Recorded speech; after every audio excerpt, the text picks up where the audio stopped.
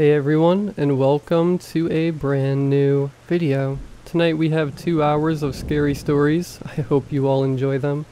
If you do, please be sure to drop a like rating. Let's see if we can reach 750 likes on this one. I know that's a pretty high like goal, but if you feel that this video is deserving of it, let's see if we can get there. Subscribing if you are new is also very much appreciated as I post content just like this all of the time. Anyways, sit back, do whatever it is that you do to relax, and as always, I hope you all have a great night.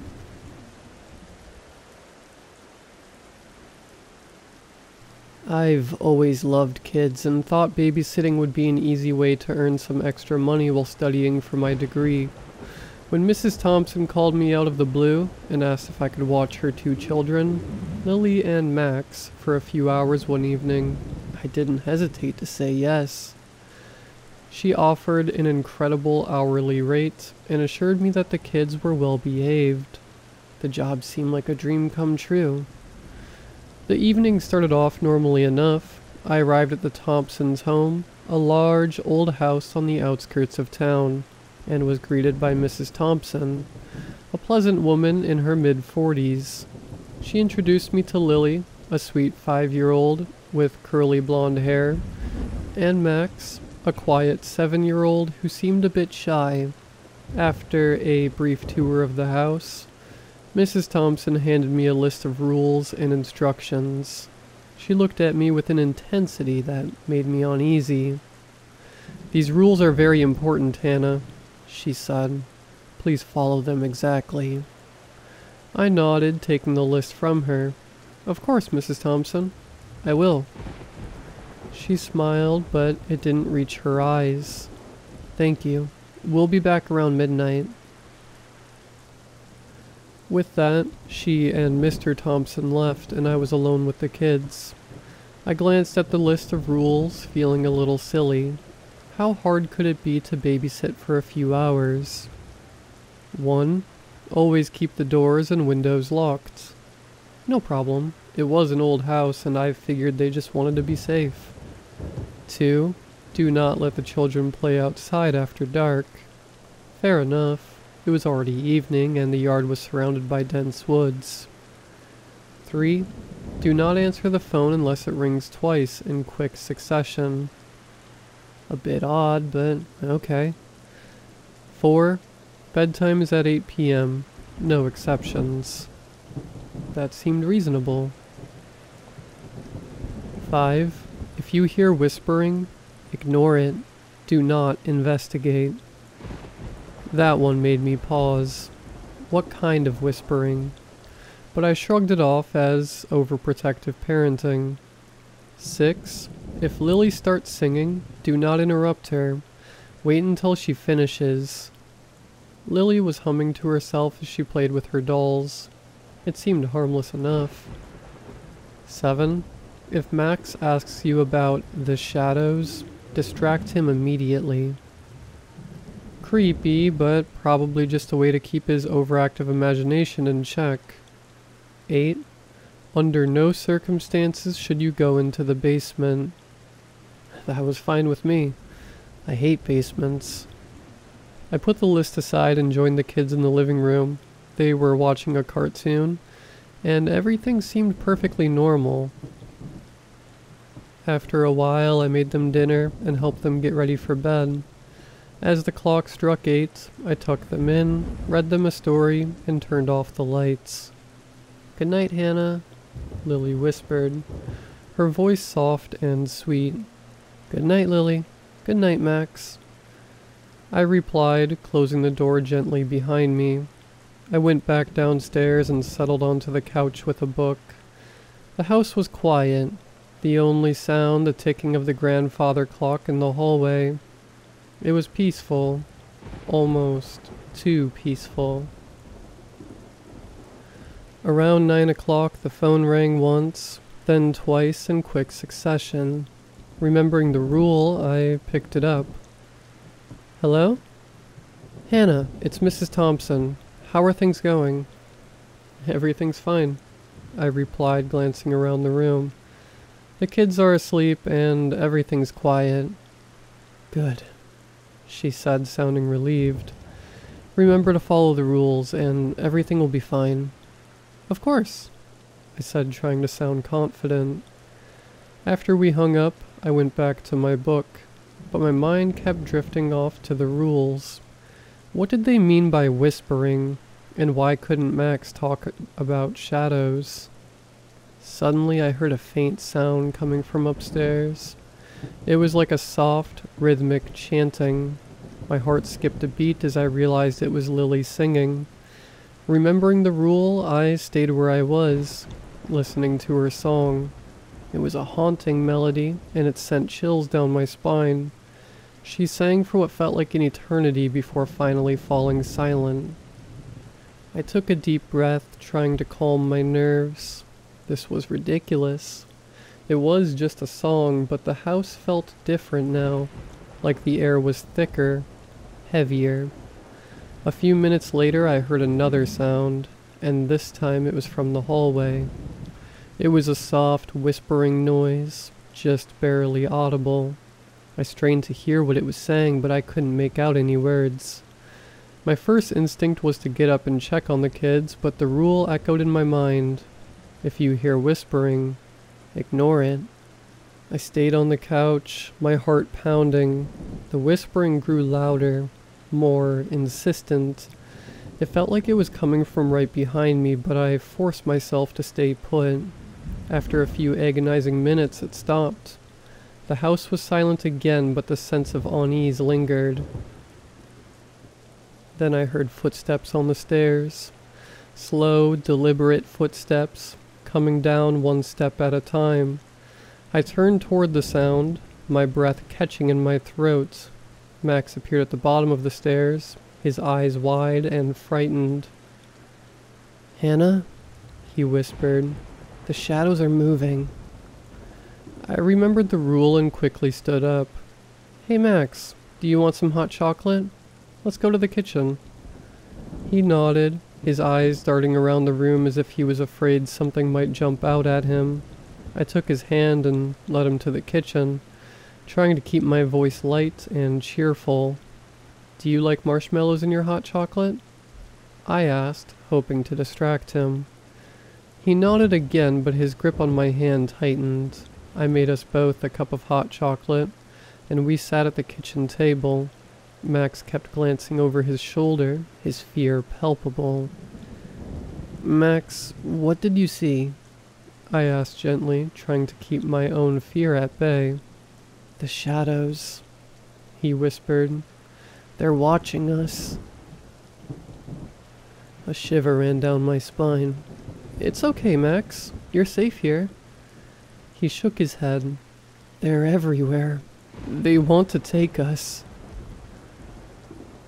I don't know what to say. I tried to reassure him, but his fear was contagious. I decided it was best to put him back to bed and hoped he would fall asleep quickly. As we walked back up the stairs, I couldn't shake the feeling that we were being watched. I tucked Max back into bed and stayed with him until his eyes finally closed. As I turned to leave the room, I caught a glimpse of movement in the hallway. My heart leaped into my throat, but when I looked again, there was nothing there. Back in the living room, I paced nervously, my mind racing. This job was turning out to be far more than I had bargained for. The rules, the whispering, the shadows. It all felt like something out of a nightmare.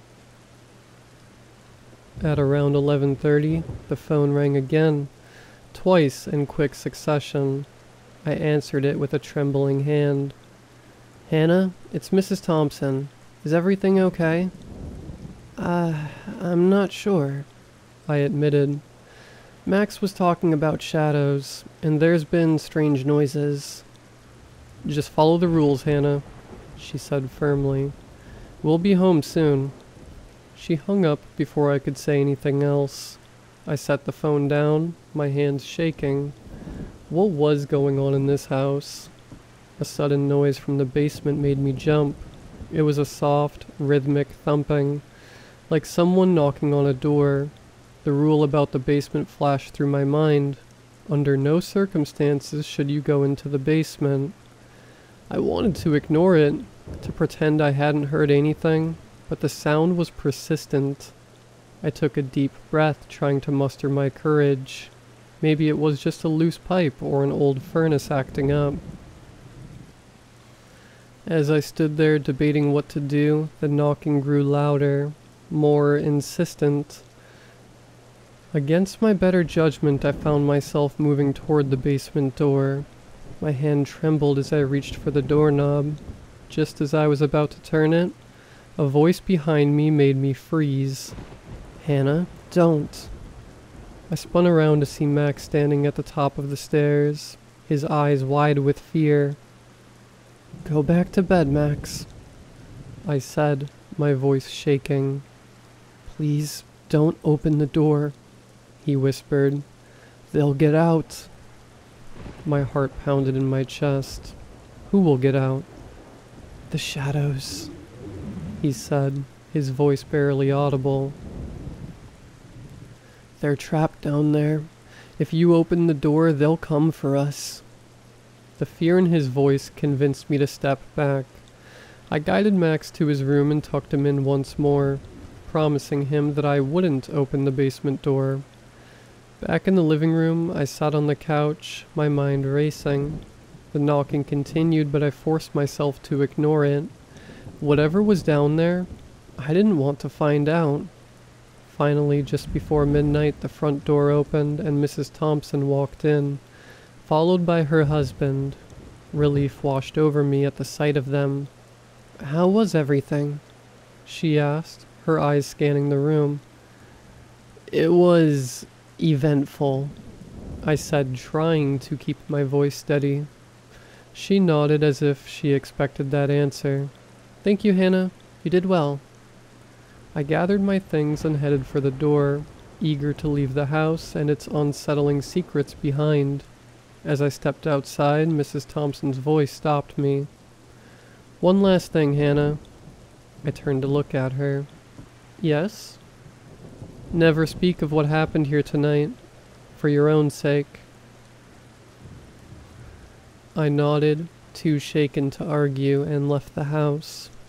The drive home was a blur. My mind was filled with thoughts of shadows, whispers, and the rules I had barely understood. As I lay in bed that night, I couldn't shake the feeling that something had followed me home. The darkness in my room seemed thicker, more oppressive. I kept the lights on, unable to sleep, haunted by the events of the evening. The next morning, I woke up with deep, dark circles under my eyes. Despite barely sleeping, as I dragged myself to the bathroom, I noticed something odd in the mirror. There were faint, shadowy figures flickering behind me. I turned around quickly, but there was nothing there. I tried to convince myself it was just my imagination, a remnant of the night's terror. Over the following days, the occurrences escalated. I could see fleeting shadows out of the corner of my eye, hear whispering voices when I was alone, and feel a chilling presence in my room at night. My grades started to slip and I found it hard to concentrate on anything. Friends noticed the change in me, commenting on how tired and distracted I seemed. One night, as I was studying for an important exam, the power went out. I sat in the dark trying to steady my breathing when I heard the familiar whispering. It was louder now, almost as if it was inside my head. I clutched my ears and squeezed my eyes shut, but it didn't stop. Suddenly, a cold hand grabbed my ankle, pulling me off my chair. I screamed and kicked, but there was nothing to fight against. The whispers turned into menacing growls, and the shadowy figures closed in around me. Just as quickly as it started, the power came back on and the shadows vanished. But the fear remained, a constant reminder that I was never truly alone. I knew that the shadows had followed me home. They were here to stay. No matter where I went, I could feel their presence lurking in the corners, watching and waiting. The babysitting job that seemed like a dream had turned into a never ending nightmare. Desperate for a solution, I contacted Mrs. Thompson, hoping she could help me banish the shadows. She listened to my plight with a knowing expression and then reluctantly gave me a small, worn book titled Wardings Against the Dark. She explained that it contained rituals and protections that might help me rid myself of the shadows. I spent the next few nights carefully following the instructions in the book. I lit candles, burned herbs, and recited incantations. Each night the presence of the shadows seemed to weaken. On the third night, after completing the final ritual, I felt an overwhelming sense of relief as the shadows dissipated, leaving my room feeling lighter and more peaceful. Although the immediate threat was gone, the experience had left a permanent mark on me. I no longer took safety for granted and always followed the rules Mrs. Thompson had given me, even in my own home. I never took another babysitting job, and the memory of that night stayed with me, a constant reminder of the things that lurk in the shadows, waiting for an opportunity to strike. The true horror had just begun and it was far from over. But at least, for now, I had found a way to keep the darkness at bay.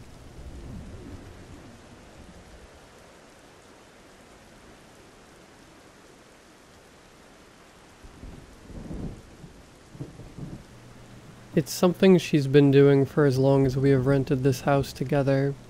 When she is sleeping, normally in her deepest sleep, I've noticed, she itches and scratches like there are bugs creeping between the hairs of her skin. Some days she wakes up with freshly scabbed scratch marks where she dug in too deep.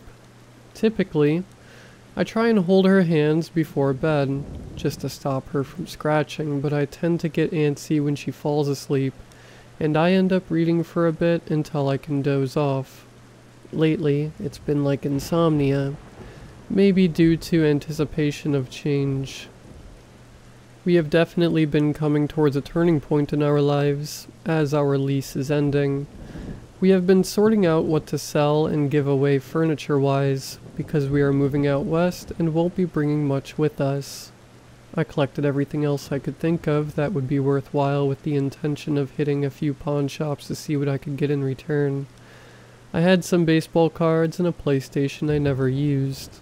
I even listed my TV for a great price online and got rid of it the next day. We planned to drive separately across the country, but we still didn't have that much space in two sedans. As I kept reminding her, I asked her if she had anything unnecessary that would take up too much space in our cars. She would only say she had everything handled and we had plenty of time. But I had been getting anxious over her inaction. I mean, she really seemed stuck in this place. That is one of the reasons I love her. A sentimental nature. She really appreciates what we have, and this place we lived in is part of that. But this felt different somehow. Like she actually could not let go. And this place was feeling hard for even me to leave for some reason which was stupid. I mean, I wanted to move. I was ready. We were ready. And it was my OCD that propelled me to go through her areas and belongings while she was out for her friend's birthday dinner.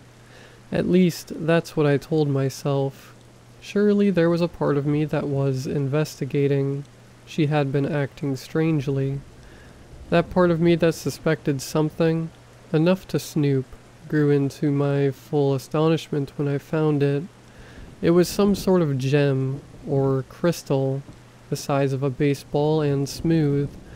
I'm no expert in that sort of thing, but anyone could have seen it was uncanny. It was glowing a subtle reddish beam from its very core. Upon inspecting the gem further, I noticed some sort of runic text. It was beyond my abilities to decipher even Spanish, let alone this.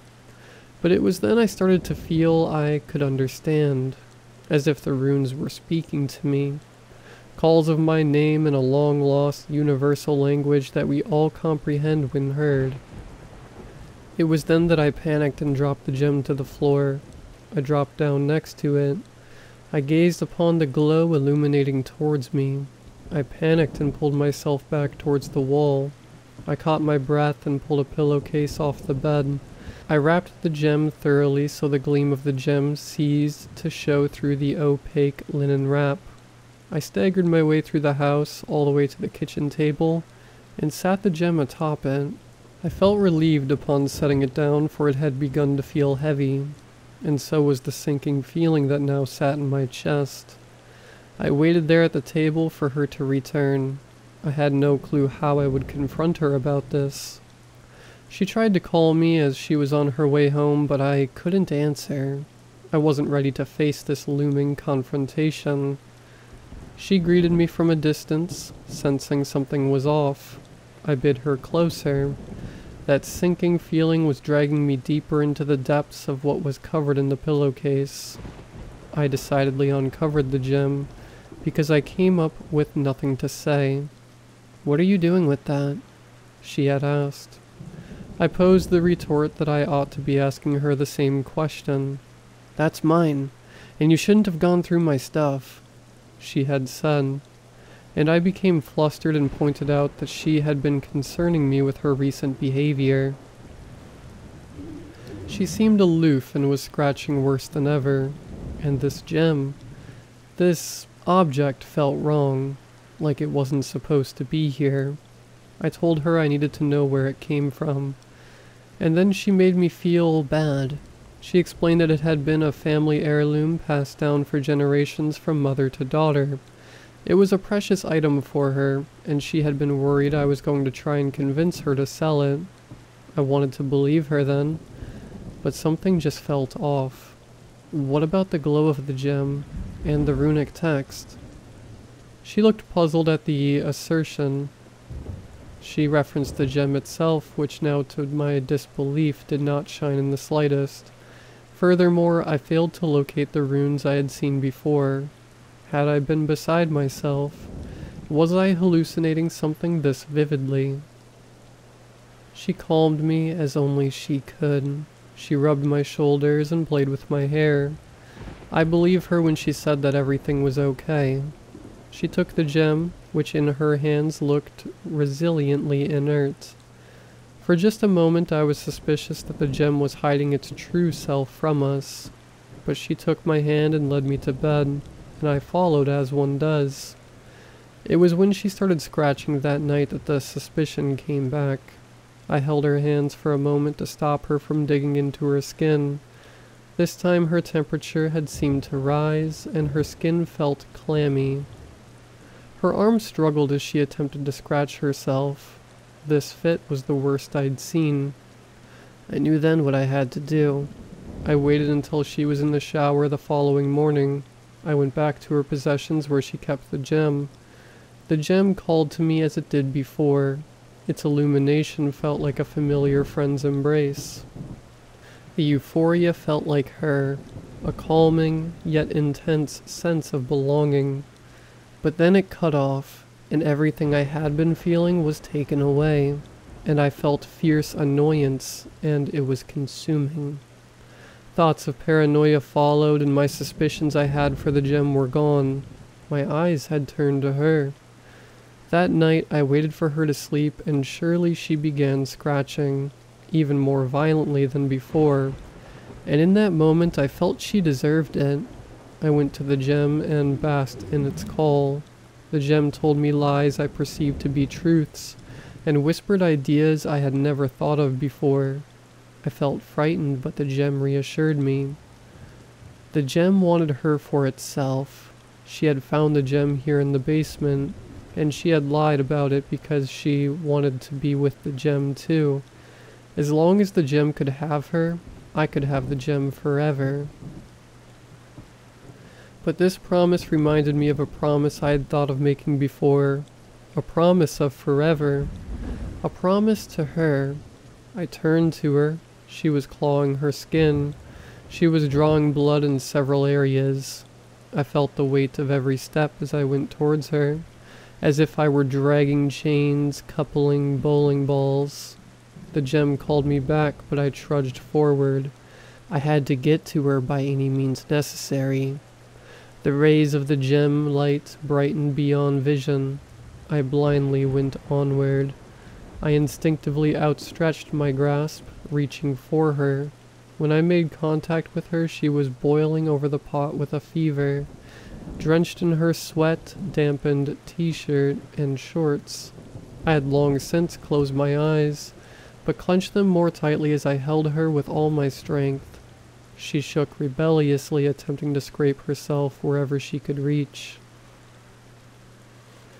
The gem amplified its call. A cackling resounded in the room, swirling with energy. I felt a heaviness leave my body and lightness took over as if my bones hollowed and I'd achieved some form of buoyancy. The firm grasp around her felt strained and she began to slip free. She scratched herself good and plenty in short bursts, blood ruining her nails. The gem hollered and heckled. I held on to her for all I could, and it felt as though hours upon hours passed before her heart rate slowed and her breathing steadied. The gem's volume faded and the glow subsided. I panted still as I held her late into the morning. She woke with a start that she had overslept, but I reminded her it was the weekend. I told her to get ready for brunch and to take her good time like she likes, because I had an errand to run. Again, I waited for her to get in the shower, and gross as I was from the day before, I threw on a hat and once again pulled a pillowcase from the bed. I sensed the gem had less power, perhaps during this time of the day. Maybe its light could not outshine the glisten of the sun. It faintly called to me, a pinch of remorse in its tone. I wrapped it decisively. This was over. But it wasn't over. I brought the wrapped gem to my car and started up the engine. I noticed that the gem's call was slightly louder in the confined space of the vehicle. I rolled down the windows to let in some air. My plan was to drive to the nearest river where the county meets the city and chuck the gem to the very bottom. It couldn't bother us down there. I reassured myself. I calmed down and actually started to block out the gem's call. It tried to grow louder, but I held fast.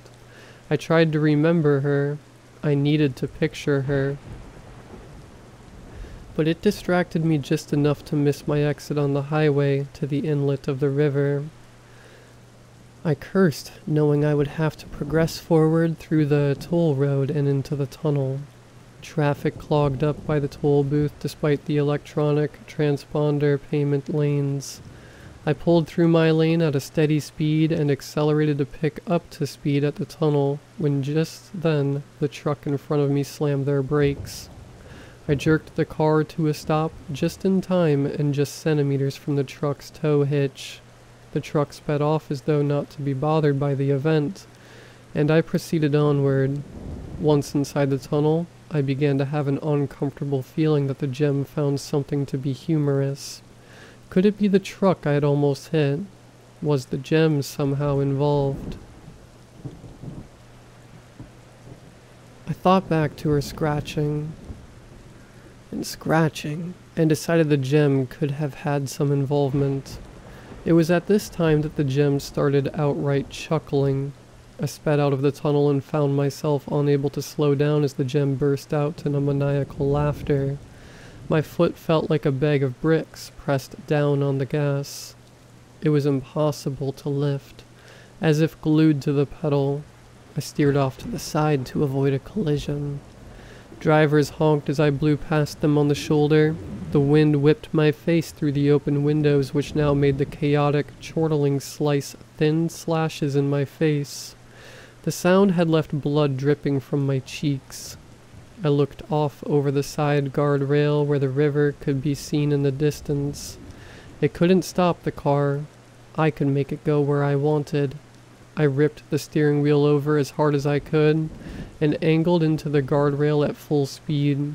The car flipped on impact and spiraled over the rail, landing upside down in the grass along the highway. I dangled a moment before coming around and unclipping my seatbelt. I dropped onto my neck and shoulders, crawled out of the open window. I coughed and my eyes stung from tears. I was apparently crying. I rushed around to the passenger side and saw the gem unwrapped.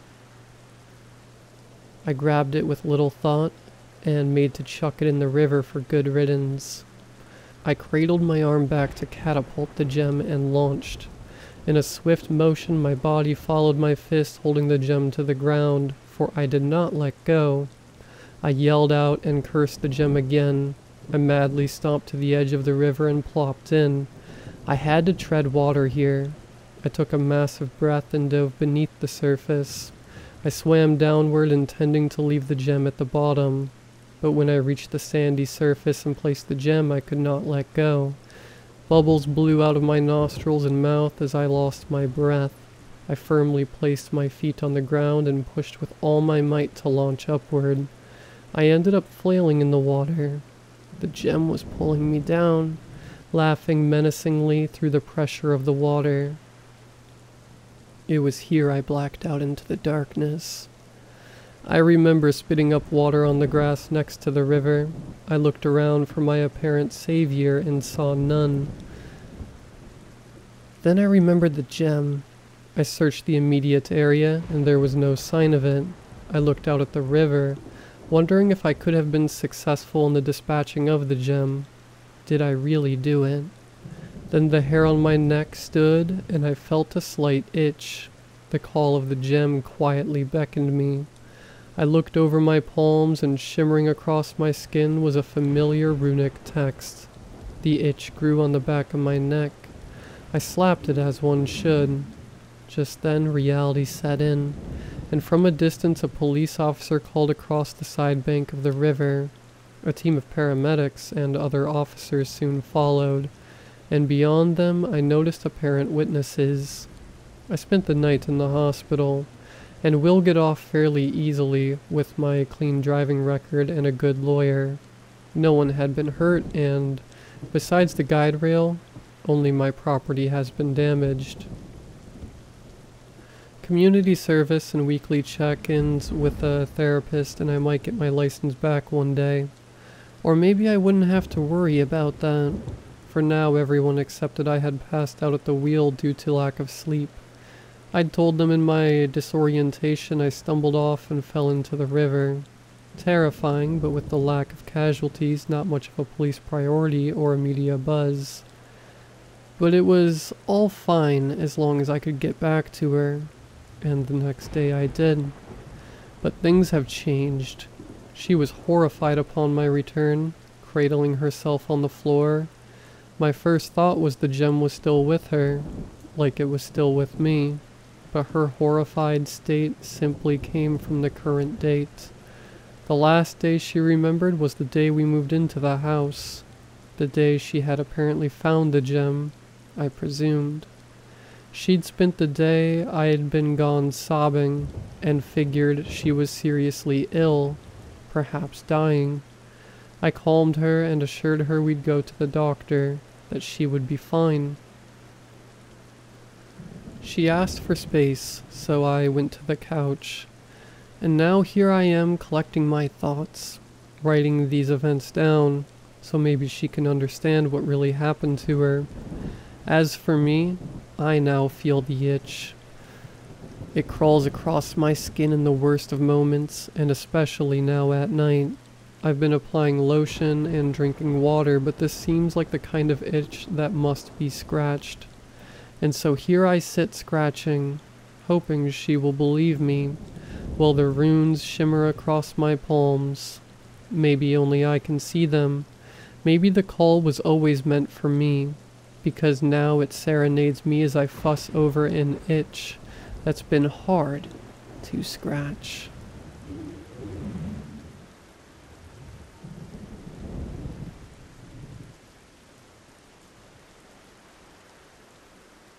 If you're a local, I'm sure you've noticed the old yellow gas station has been closed for a long while.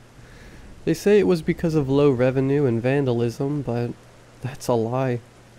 I was there the night it was open. I know what happened. I know why the doors are chained shut. If you have driven the Mountain Loop Highway, then without a doubt you've seen the rundown little station on the corner of 20 and 530. And if you stopped by on a weekday between 5 and midnight, you would have been served by either myself or Iris. I was 16 at the time. Technically, I couldn't work the hours that I was, but the owners were pretty relaxed when it came to certain things. Iris was two years older, and in my teenage opinion, simply beautiful. She stood equal to my five foot eight, had long dark brown hair that she kept in a ponytail while working, and the most mesmerizing blue eyes imaginable. It was the winter season. The pass over the mountain was closed due to snow. This meant we went from being nearly overrun by customers to seeing one or two people an hour. The later hours were even slower. Sometimes we would go the entire shift, only getting a single customer. During these times, I would wander around bored out of my mind, or watch movies that I had downloaded at home. There was no cell service or Wi Fi, so scrolling social media wasn't an option. Iris preferred to lean back in her chair behind the register and read books. I would try and make conversation occasionally, but it would always die quickly. The night of the incident was like all the rest. The sun had set depressingly early. We hadn't seen a soul in hours.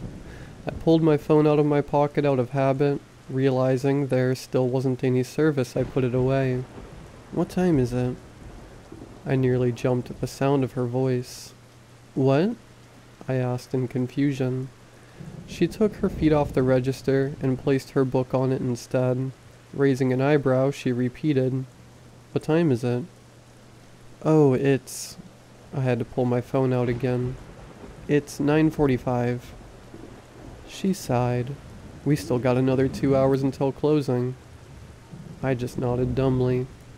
An awkward silence hung in the air for a minute. Iris picked up her book and continued reading. Feeling the moment slipping away, I blurted out, Hey, you want to do something? Like what? She asked without looking up from her book. I don't know. Something to help pass the time.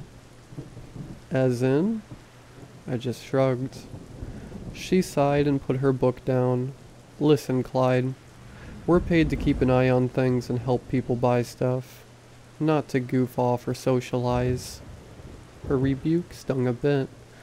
And it must have shown because and it must have shown somewhat because she quickly followed with, Tell you what, go take the trash out, and I'll check once again if the bathrooms are clean. Then we can inventory the beer cave together. I hated taking out the trash, but it meant we could do something together. Afterwards, it was worth it. Carrying the large black bag over my shoulder, I used my free hand to fumble with the bolt on the rear door. The doorknob never properly latched, so the owners had installed a large gate-style locking bolt. It usually required two hands, one to pull the door closer, and the other to rotate then slide the bolt back. Finally working it free, I pushed the heavy metal door open. In front of me stretched a gravel driveway that led to the highway. At the end of the driveway was a worn green dumpster. Iris hated taking the trash out for the same reason I did. At night there was a single light above the door. The rest of the walk was in near blackness. One night I had stupidly bragged about how I didn't mind taking the trash out. How I kind of liked the fresh air. From then on, Iris had let me take it out every night. Willing myself forward, I walked out into the all-absorbing darkness. I felt eyes on me. Despite knowing it was just my imagination, I couldn't hold back a shiver. I lifted the dumpster lid and swung the bag inside. The lid slammed shut, echoing through the night. I almost didn't notice the rustling bushes just off the path. I froze. The sound grew closer. I nearly screamed as a figure stood from the blackberry bushes leaves and twigs sticking out of their hair and clothes, they took a step closer. I let out a breath I was holding. I knew that face. Geez, Iris, you nearly scared me to death. Why are you in the bushes? She stared at me without blinking. Her eyes were completely void of emotion. She slowly opened her mouth. To death. She whispered in a voice that was not her own. Instinctively, I took a step back. She matched it with a step forward. Iris? She took another step closer. I, Reese, she whispered, despite her mouth being open too wide to be whispering anything. Fear coursed through my veins.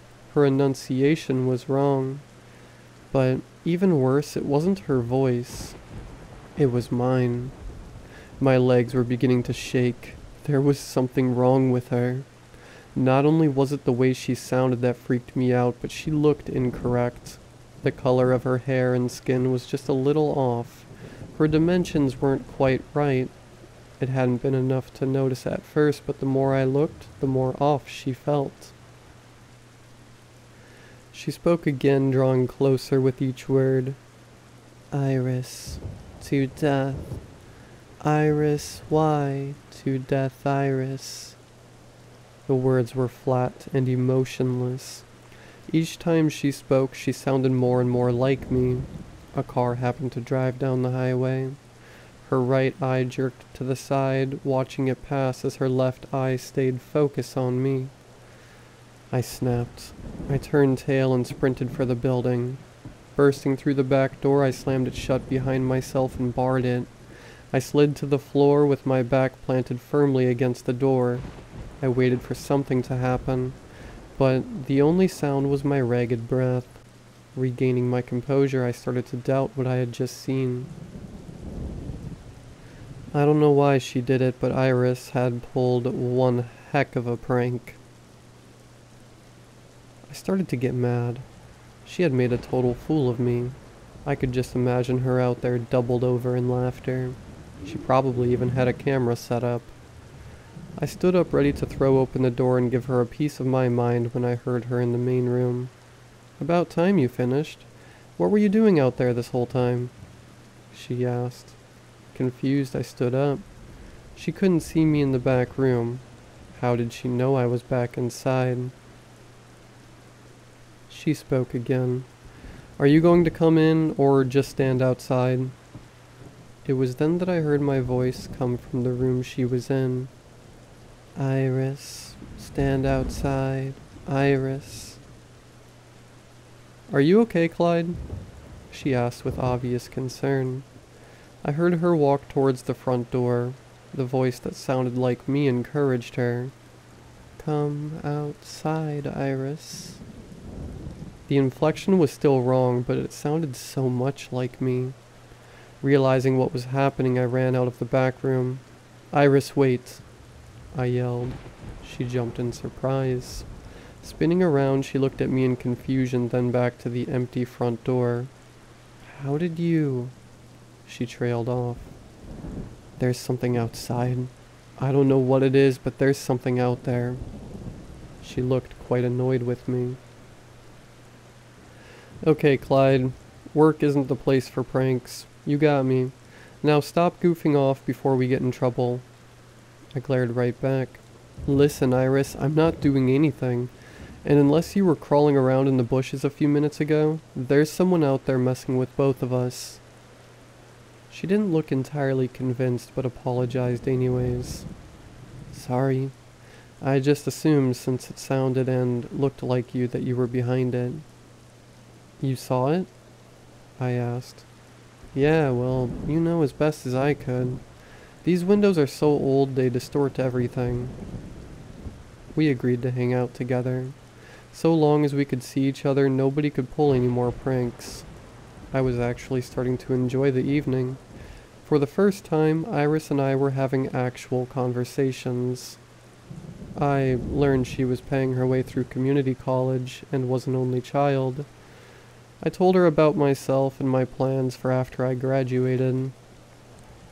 We talked about dream vacations and what plans we had for next summer. It wasn't too long before we had both forgotten about the night's previous incidents. Iris stood. I gotta use the bathroom. I'll be right back. While she was gone, I went over to the soft drink fountain and filled up a cup. Iris walked behind the register. Picking up her book, she began to read. You want something? I asked, holding up my cup. Before she could reply, something metallic clattered in the back room. Iris jumped to her feet. We both looked at the door marked Employees Only with apprehension. Stay here, she commanded. Before I could protest, Iris ran through the door into the dark room. A panicked cry came from the dark. Clyde? Just as I was about to rush through the doorway, a toilet flushed. I froze. Behind me in the bathroom door opened and Iris walked out. I felt sick. In the darkness of the back room, I could make out a figure standing just a few feet away. Iris noticed something was up. What's wrong, Clyde? I didn't take my eyes off the figure in front of me. There's someone in the back room. She ran up to me. What? She demanded. Who? Looking through the doorway, she gasped. You better leave. We're calling the cops. She yelled. The figure stepped farther into the dark, disappearing from sight. To death, Iris, came my voice, followed by Iris's voice. Come here, Clyde. There was a pounding of footsteps as the figure charged us. I slammed the door shut just in time. An inhuman scream rang out as the creature slammed into the door. Iris and I held it closed as the door was assaulted over and over again. We didn't relax until we heard the back door slam shut. What was that? Iris asked. I didn't know what to say. This was too much.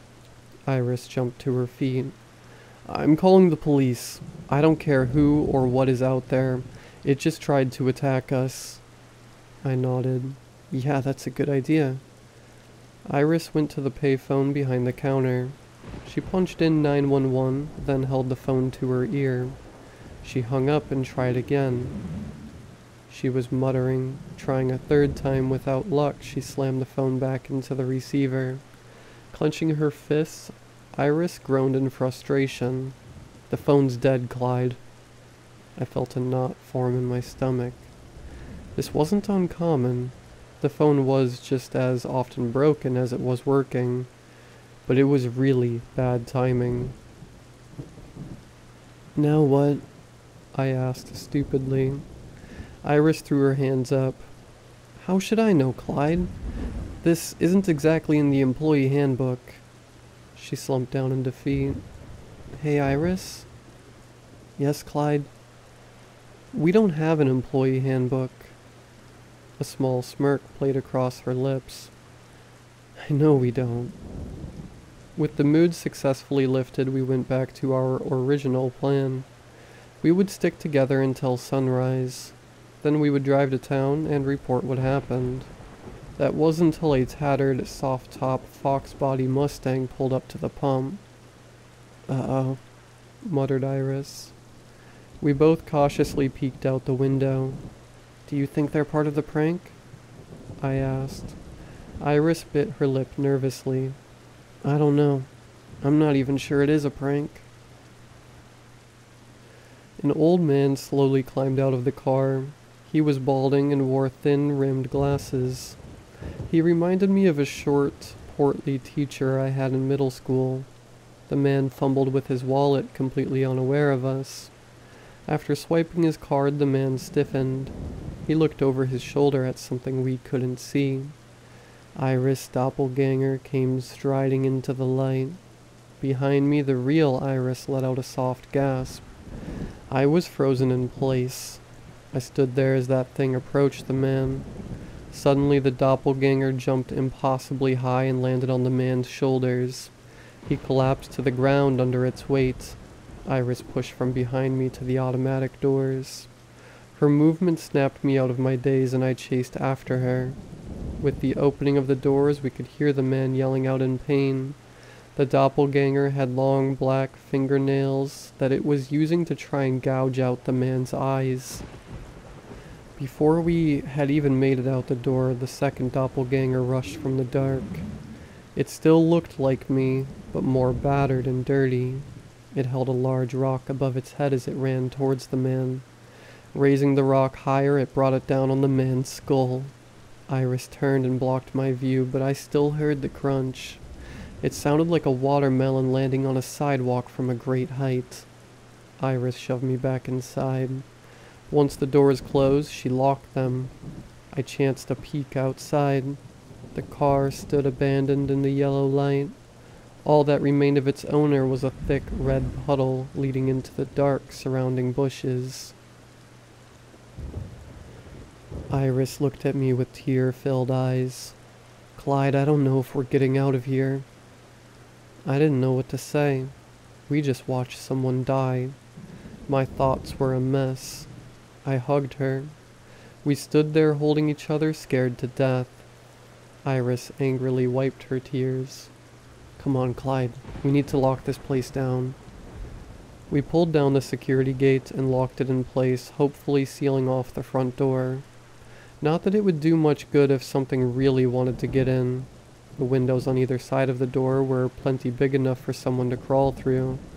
The back door was locked, but for good measure, we pushed the baked goods display in front of it. We both froze at the sounds of footsteps above us. Iris covered her mouth to hold in a gasp. They're on the roof, she whisper shouted. We both looked to the access hatch that led to the roof. It was locked, but how sturdy was it? My heart lurched and a scream slipped out of me. At the front window was my face, blackened and grinning with its eyes open far too wide. No, it wasn't black. From the nose down, the face was stained with blood. It had been feasting.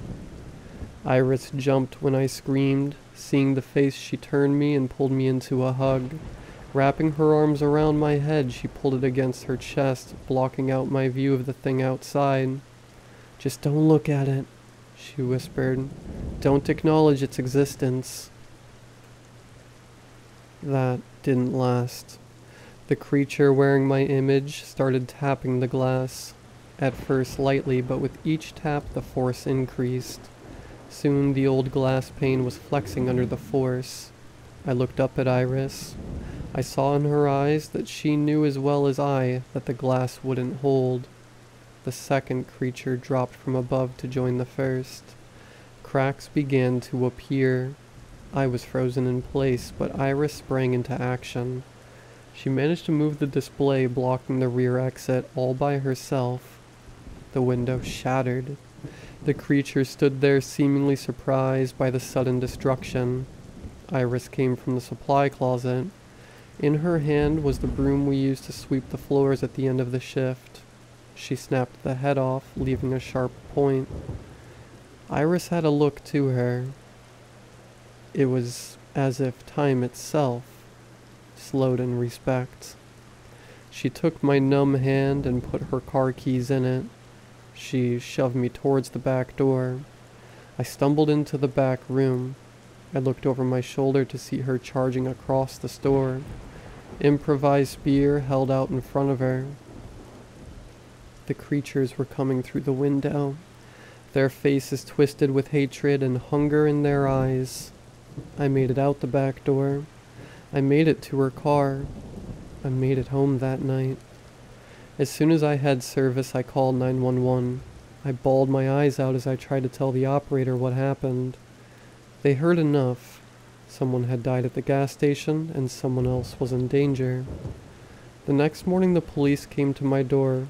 They cuffed me and drug me out of the house. I spent hours getting brutally interrogated. Finally, I was able to go. From what I picked up, the officers arrived to the scene.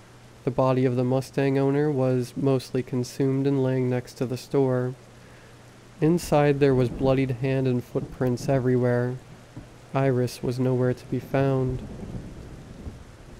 If it wasn't for the fact that there was no DNA evidence pointing towards me, I would probably have taken the blame. We moved within a week. Despite the charges being dropped within a 48 hours, the court of public opinion had determined I was guilty of murder, and probably worse when it came to Iris. It's been seven years now since they closed that station. I drove past it yesterday. I had to take that route for my job. The windows are boarded up and the blackberries have taken over half the building, but it didn't feel empty as I drove past. Thank you, Iris. You were braver than I could ever hope to be. I hope you can see what I did with my life and be proud. I miss you. I'll be taking the long way home. The extra four hours of driving is worth not having to go past that station again.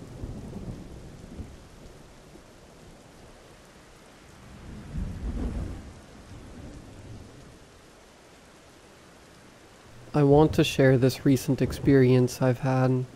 I can't find anything when I search it up, so as usual, this is my last recourse. For some background, I'm a college student, not really that social. I don't go to parties or anything. I get chronic migraines and the music tends to set those off. Campus is pretty nice. It's decently big and it's got a lot of trees, so it's not like I'm inside all day. I'm staying on campus over the summer because I've got to retake organic chemistry, so it's relevant, I swear. The other day, I think Tuesday, I was headed back to my dorm after class. Got unlucky and got saddled with it in the evening, so it was a bit hard to see, but we aren't an unsafe campus or anything. We have streetlights and all that. I don't get freaked out walking because the main danger is cars, and I have eyeballs and a brain.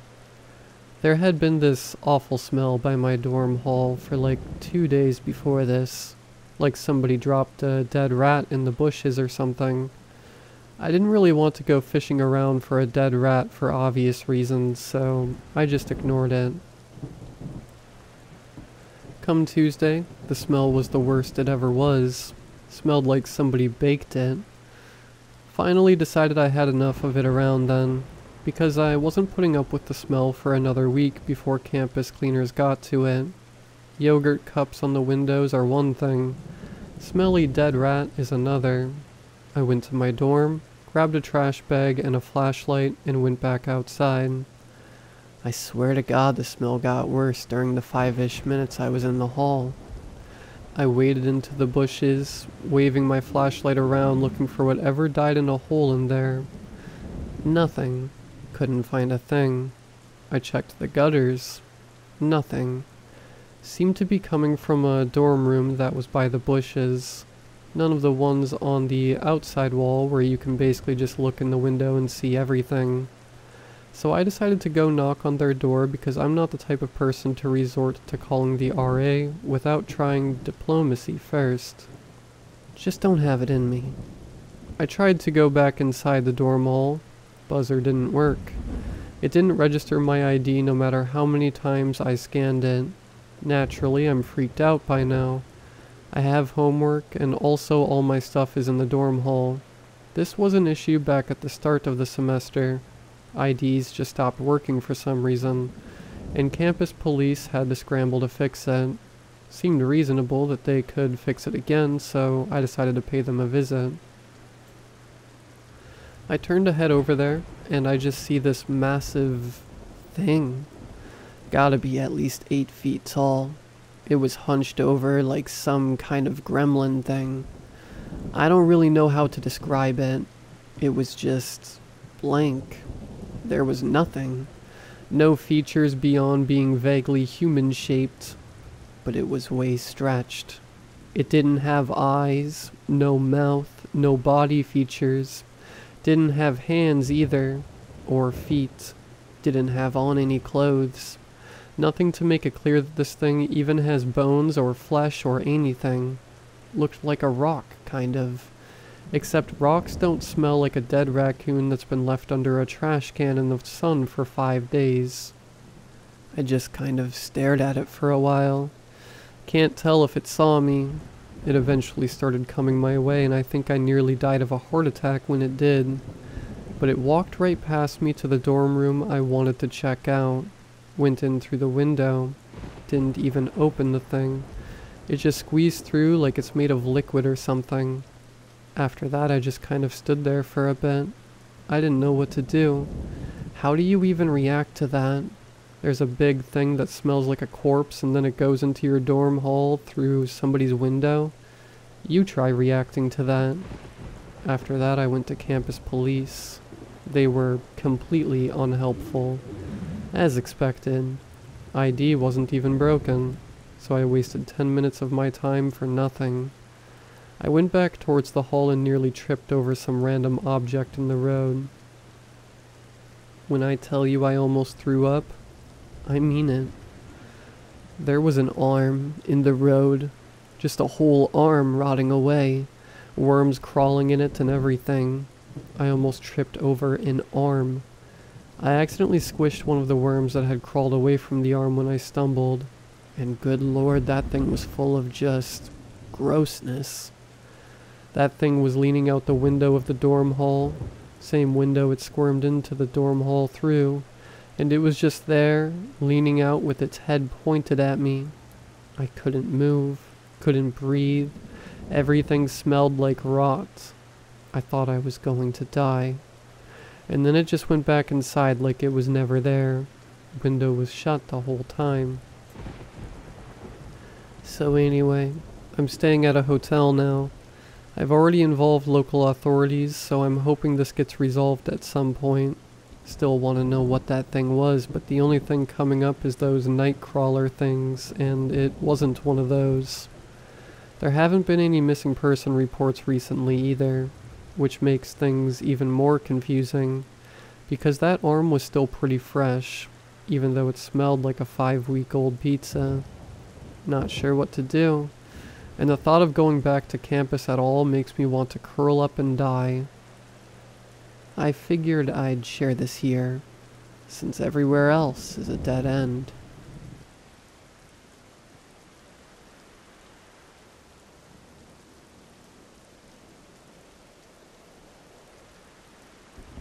Ever since I was a young boy, I would wake up in the morning with my furniture arranged differently than when I went to sleep. Sometimes it was small, like my lamp in the wrong place or my shoe rack was tipped over. Other days I'd wake up and the bed would be in the wrong spot, the dresser on the wrong wall, my desk in front of the door. In the beginning, it wasn't in a messy fashion. It seemed like a perfectly normal way to arrange my bedroom, just in a different way than I preferred. I have a very early memory from around five years old of my mom yelling at me for moving around all my furniture at night. I swore up and down that it wasn't me. She seemed conflicted when she was yelling at me. I wasn't a troublemaker.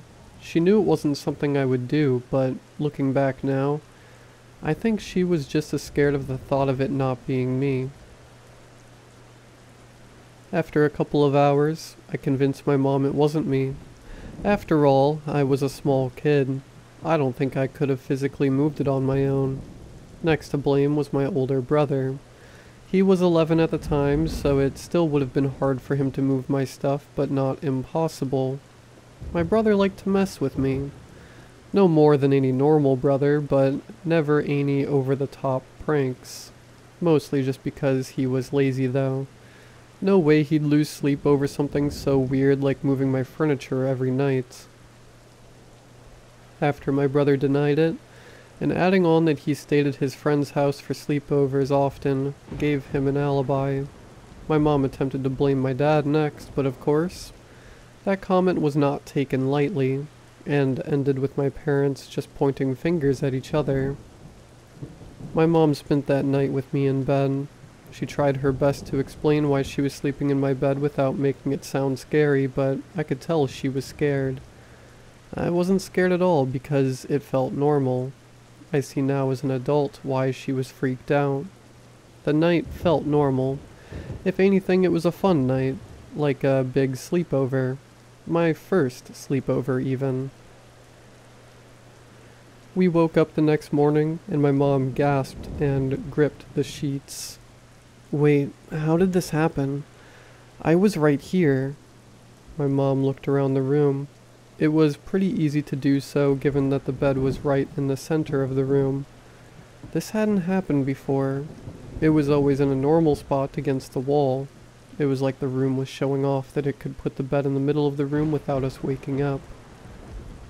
My mother always claimed to be a notoriously light sleeper. She said she can't fully turn her brain off in case we need her in the night, but she always seemed to sleep deeply to me. The rest of the day she kept insisting that someone was sleepwalking or something. She didn't think anyone was playing a prank, but she knew someone in the house was doing it. She had to believe it. My parents ordered a security camera online to put in my room so they could watch the footage the next morning. They got next day delivery, so I'd have to go one more night without them being able to watch me sleep. That night, they decided to let me sleep in their bed. I was even more excited than the night before. Now this was really a sleepover. That night, my mom tucked me in tightly in between her and my dad. I remember she held me all night long. I woke up the next morning to my mom sounding terrified. My parents' bed wasn't even in the bedroom anymore. It was sitting in the living room right outside my parents' bedroom. My dad sat up and started to get as concerned as my mom. How. how did our bed get out here? He whispered with a stutter. It can't even fit through the door frame. Was it taken apart and put back together out here? He hopped out of bed and picked me up into his arms in the process. We all stared at it confused. Even as a young boy, I knew something was really wrong. My dad started to take the bed apart to bring it back into their bedroom and noticed that the screws were loose. Some were even missing, like it was put back together in a rush. I remember my parents being on the phone with, I think, the police, but they never showed up. I remember my mom being upset on the phone when they wouldn't help us at all. That night, my dad installed a camera into the corner of my bedroom. My mom once again slept next to me. The camera they got was basically like a baby monitor that recorded the night. My dad had the monitor beside his bed to be an extra set of eyes. The night came and went. My mom and I woke up with my room yet again rearranged.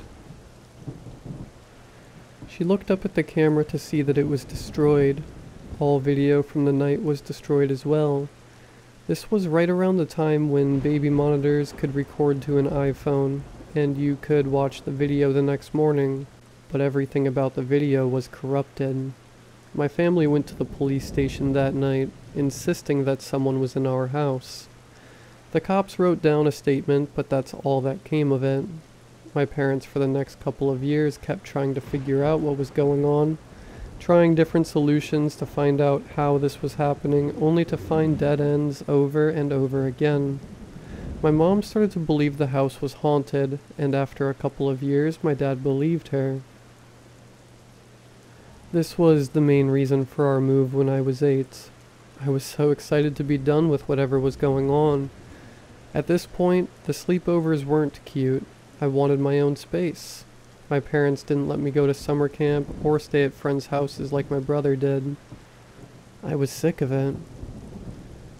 It was night one in the new place. It was only about 30 minutes from our old house. Not too big of a change, but just enough that I was excited.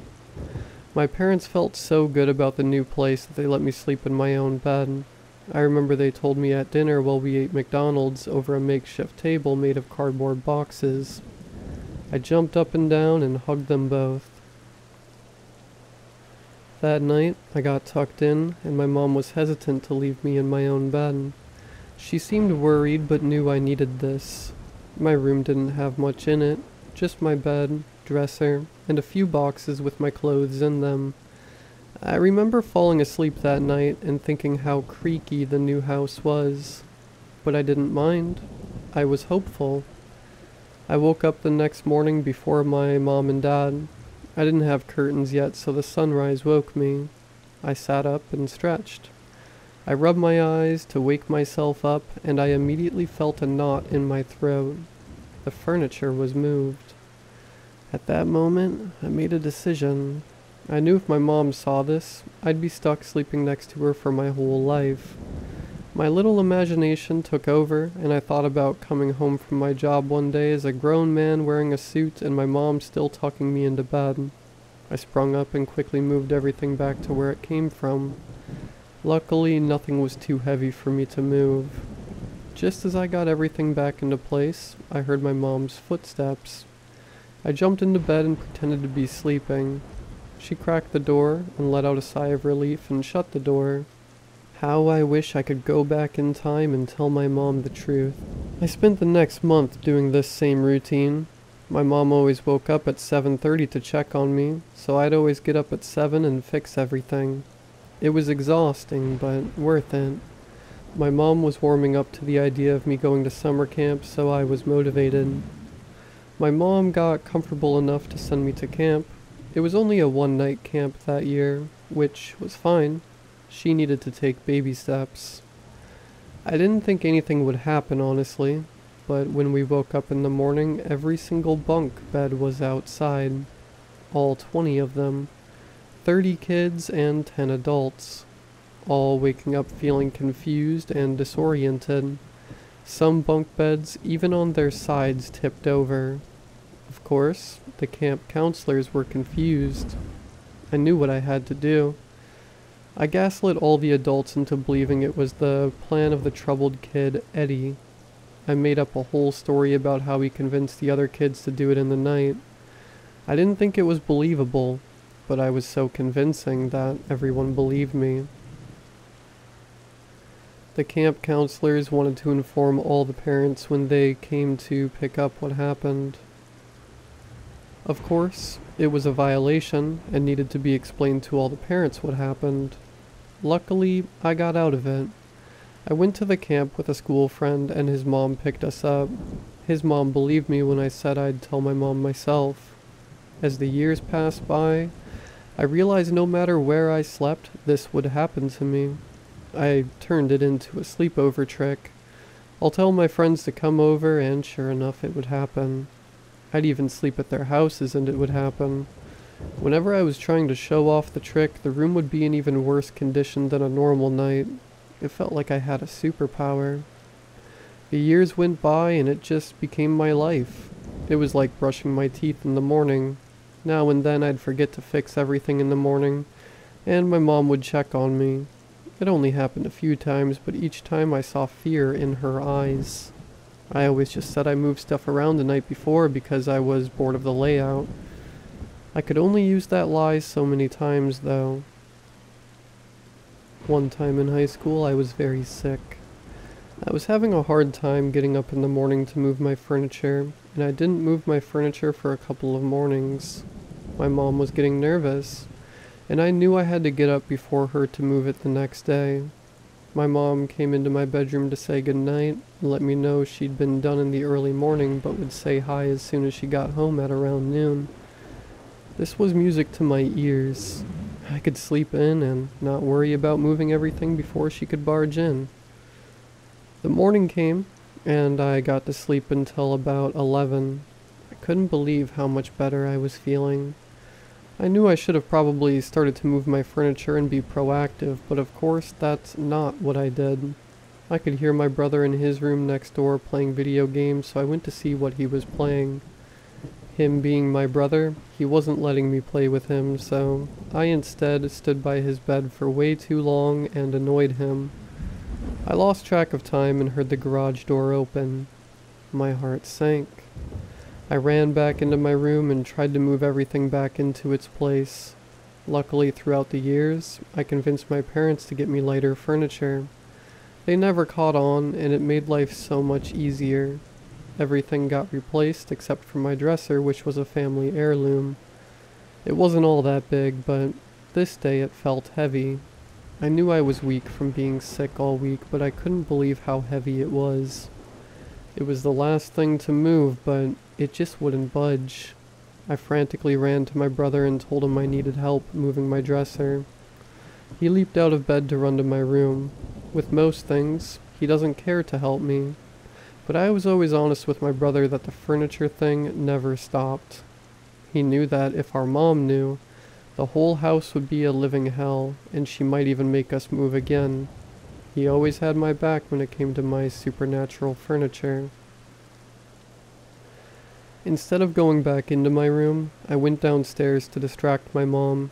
I knew she'd be mad to see me out of bed, but the consequences of my furniture being out of place would be so much worse.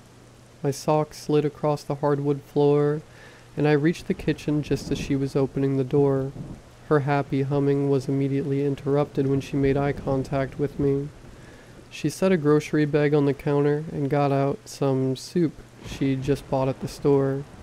I thought she was going to yell at me, but I wasn't going to question it. I figured she was being patient with me since I was sick. Just as she got out of a box of popsicles, I heard an awful sound. One that I will never forget. A sound that is completely my fault. I heard my brother scream. It was a loud scream, but short, like something interrupted it. It sounded like he stubbed his toe and then covered his mouth halfway through. My mom and I made eye contact and started to head upstairs to check on him. It was too loud to be something small. We turned the corner into my room and I didn't know what to feel. I saw my dresser still not in its normal spot, but just slightly moved from where I left it. The dresser had a big drawer on the front that opened like a door or a cabinet, and it was wide open and empty.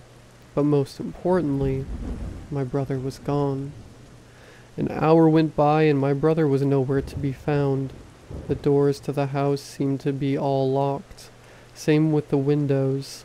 We ended up filing a missing persons report. A whole week went by and there was no sign of him. My mom thought my brother was in the middle of moving my furniture to prank me or something and got spooked and ran off. I didn't have the heart to tell her, or anyone, that I felt like this was my fault. I thought that maybe whatever was moving my furniture wanted just me to move it or something. After that awful week, we found something to make it so much worse. My dad was in my room with me and trying to ask more questions about our last interaction. A lot of people ask me this since I was the last person to see my brother, as I explained it to him for the 100th time, he was randomly looking at the dresser and opened up the big door we originally found wide open. It had a note taped to the inside. Before my dad took it, he looked nervously at me asking if it was mine, but he very well already knew the answer. We called my mom into the room before we read it. The following is an exact quote from the note. I see our little game of hide and seek did not end like I imagined. Your brother is not who I intended to find me, but he will have to do for now. We had no clue what the note meant, but that didn't stop it from sending shivers down my spine. At the very least, now we knew someone had taken my brother. We thought the cops would do more to help now that we had a note. Well, they did do a little more to help us find him. They never found anything else. I never saw my brother again. Last year I moved out of my parents' house. The decision was completely based on my not wanting to move my furniture around every morning. I couldn't imagine a world where I could leave my furniture as is and just sleep in without the worry of my mom seeing it. That being said, I moved out as soon as I could afford it. I moved in with my best friend and we shared an apartment. He knew about my little party trick and was never too freaked out by it. Although part of me was scared that once he saw it was legit, he would be scared. The first morning I woke up and the room was a mess. Everything was in the wrong place just as usual, although I didn't think there would even be a usual for how my room looked anymore. I was sick of fixing it. It was going to look however it wanted to look. After a couple of days of just letting my furniture do whatever, I noticed that it was being arranged more and more chaotic, messier. Like the furniture was mad that I wasn't putting it all back. I started straightening things, but nothing too wild. I'd just leave the big stuff. I mean, my roommate was weirded out, but he didn't care at first. One morning, about two weeks into living at the new place, I woke up with my bed on our deck outside. I knew it was starting to get out of hand. The whole reason of me moving out was to not have to move my furniture around like crazy. I was so mad I couldn't just leave the furniture as it was. For some reason, it had to be put back to its normal spot. I let it go one morning. I wanted to see what would happen if I just left it, just once more. I woke up the next day in the middle of the woods with no clue where I was. I felt like when I was a kid and this happened with bunk beds, but this was so much worse. It was relatively easy to find my way back, but just a long walk.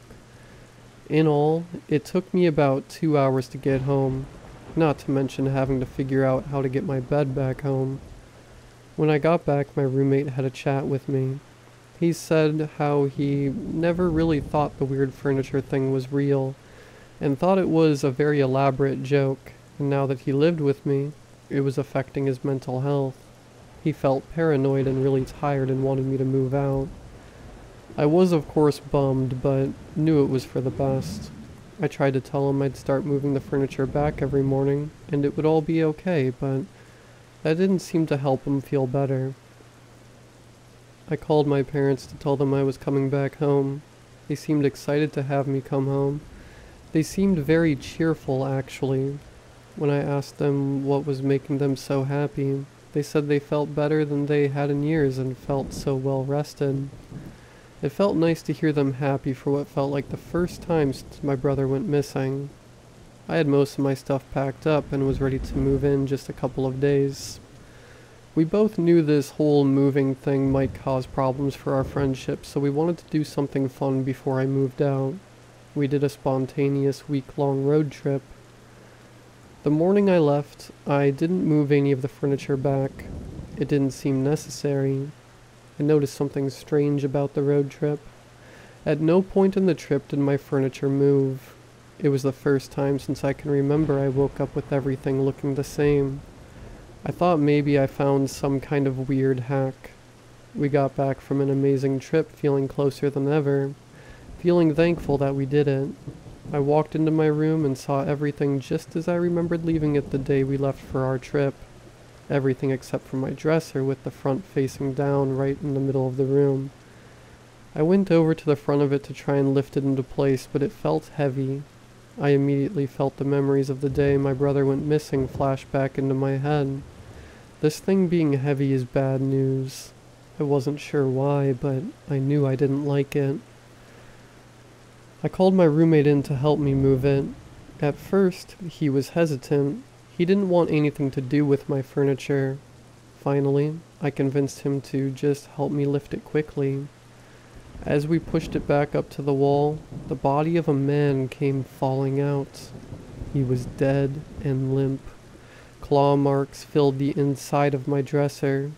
It looked like it fell over while he was hiding in it. He most likely fell over at the beginning of our trip and couldn't get out. He was in the same spot where I found that ominous note a little while back. He also had a gas tank that had a sleeping aid in it that was connected to one of those things that go over your mouth and nose before surgery or something. He looked malnourished and sickly, this man was my ghost for the last 15 years, moving my furniture around, thinking it was some kind of fun game or something. This was the man who took my brother. This was the man who gave a sleeping aid to me and everyone else I lived with so he could move my furniture around for me. This was the man who took away countless sleepovers from my childhood. This was the man who stole my mother's peace of mind my whole childhood so I could have some sick game every morning. They never found out who he was. They couldn't find anyone that matched his fingerprints or dental records or anything at all. It's like it never even existed. Most of all, they never found my brother. They never found out how the man got in and out of my house, if he even left, or how he was always around no matter where I slept.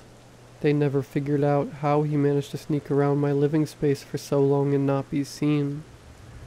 That was last year, and after that day, my furniture never moved. Again.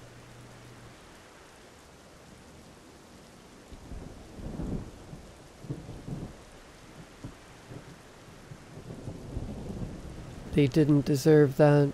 They don't deserve that. I don't deserve this. No one does. The thing is, I was never close with my parents. I mean, I loved them and had no problems hanging out around each other. We just were never close, you know? There was always a distance that we never bothered to close. So, when I moved away to uni, I didn't look back. There wasn't even much to look back to. My hometown wasn't even that. It was just a collection of small houses that had happened to be built at the intersection of two roads. I mean, sure, our town appeared on the map. That's just because they had to put a name there. It was a nowhere place with nothing of worth. Except my family. University was hard. I mean, obviously it was hard academics wise, but the change from living amongst the same seven families my entire life to a city with hundreds of thousands gave me whiplash. But still, I thrived. I clawed my way up with everything I had to escape from where I had come from.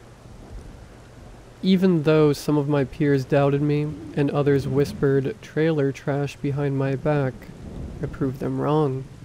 I was better than them, not through some trust fund, but through my own hard work. I tried at every opportunity to forget my past, including leaving my parents behind. When summer break came around and I had no other plans, I decided that I would visit home. I don't know why I decided to go back. It's not like I had any reason to suspect anything was different. I hadn't even messaged my folks in the eight months since my mom's birthday. I just found myself making the long drive back home in the midst of a summer heat wave with nothing but empty fields in every direction. Anyway, I eventually arrived just outside the boundary separating my town from the endless farmland and had to slow my car to a halt. There was a concrete barrier blocking the entire road from being used. The only thing indicating that the road stopped so abruptly was a sign posted on the top of the barrier. Dead end. I had to drive into the ditch to get around the blockade, somehow getting my car stuck in the process. I swore to the sky and was reminded how much I hated this place. I should have taken that as a sign to leave, to think that maybe the barrier was there for a reason and that someone knew. Someone had to know. Still, I pressed forward, determined to not let this awful place get the better of me. The town was quiet. Not a single sound other than the wind chimes and some faint noise carried by the wind. It had always been quiet, but somehow I knew it was different. There were definitely more trees in the front yards of my neighbors than I remembered.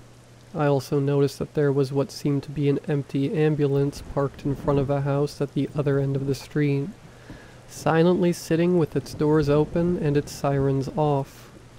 When I let myself into my old house, the only sound that I could now hear was the static from the old radio my dad used to listen to the news with. The faint aroma of lavender also filled my nostrils. It wasn't dark in the house, quite the opposite. It was bright. Every curtain was opened, and every light was turned on, showing how dusty the house had become. It also meant I could see everything, my father sat in his old reclining chair facing out to the backyard with his back to me. It was almost right out of a greeting card, if not for the shallow wheezing I could hear from him. When I rushed over to make sure he was okay, I saw the front half of his body. It looked like his skin had melted in the chair, rooting him in place, unable to move. Thin tendrils made of flesh and muscle stretched out of his feet in front of him, covering the carpet in a slick, bloody flower bed. Every inch of the front half of my dad's body bloomed outward, stretching into the sunlight to try and get as much nutrients as possible. His skin burst open from what looked like boils. unfolding into petals and pistils. Some sprouted out of his orifices, growing and growing and growing, grasping for the sun outside the window. I puked and I screamed. I thought my dad had died, and I had not even known. I wish. When I looked at where his eyes had been, between the skin leaves and throbbing bulbs, I saw him looking at me, and I saw fear. Those eyes that I had tried to even forget the color of begged me for help, no matter what had to be done to stop the pain. I ripped at the flowers and roots, trying to get him free, but his flowering skin shuddered and he squelched out a small, muffled moan through a throat full of flowers. It had hurt him. It hurt him to simply be alive. I fumbled to find my phone in my pocket to dial 911, but it didn't seem to go through. All I heard was the dial tone and the faint sound of wind chimes on the other end of the line. I looked around the rest of the house to try and find something to help him. I tried the bleach under the kitchen counter, but that only seemed to pleasure the flowers. Searching in the dining room, I saw a lighter next to my mom's birthday cake, now rotting with small blossoming flies sticking out of the fuzzy frosting. It wasn't long until I found what I assumed was my mother. She was outside in the back garden grimly enough. She had grown into a sprawling tree, her bones splintering into branches that stretched into the sky, her bark scabbed over, dripping with sap and pus. She resembled a cherry tree, with raw pink wounds budding into flowers. She was also alive, for however much I wish it weren't true, she managed to even stutter out telling me to kill her. No one could help, Every one of my neighbors' houses held the same thing. Now, seeing the trees outside for what they really were, I rushed past every house I could, hoping and searching for anyone to help me or my parents. There were dozens of flower beds littering the lawns, with flowering arms reaching out in the sky asking for help and sunlight. One of the most disturbing sights was the playset that the Evans had owned now wrapped in vines. One of my neighbors, who I think was named Ted, had it worst. It had taken me a while to find him, as he was in his basement at the time. It was dark and fine particles obscured the effects of my phone's flashlight. Still, through my coughing and blinking to get the dust out of my face, I eventually found what was Ted. What is Ted? He had collapsed into a heap of flesh, nothing being able to take root in the concrete floor of the unfinished basement. The flowers that covered him had wilted and shriveled, gangrene and necrotic tissue covering his entire body. He didn't even have a face anymore. His eyes unraveled into white lilacs and his tongue uncoiled into something similar to a grapevine. Every part of it blossomed to try and uselessly grasp at the sunlight that was not there. I think it hurt him to be away from the light more than it hurt the others inside it. I didn't care. I had come down to Ted's basement for another reason, and I had found it. I snatched the gasoline and ran back to my parents' house. It took me a while to thoroughly cover the house with enough for me to be certain using up the entire can and praying that someone else would come along to help my neighbors. Then I use my candle lighter to set my childhood home on fire, waiting and making sure that my parents were thoroughly burned.